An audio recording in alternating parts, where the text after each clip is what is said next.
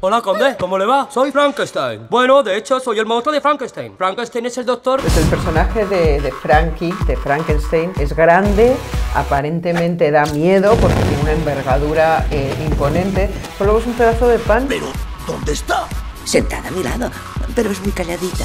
Ah, ya. ¿Es la copenca que se le cae todo? Shh, que empieza la boda. Es la mujer de, de, Frankenstein, una mujer que en algún momento te puede sacar de quicio por ese tono de voz que tiene, que está siempre arriba. Si es apta para menores una guillotina, da igual, que se ampute un dedo. Esa es la gracia. No, mira, pues yo soy un buen Frankenstein. Eres un buen Frankenstein. Buen Frankenstein y tú eres una buena mujer de Frankenstein.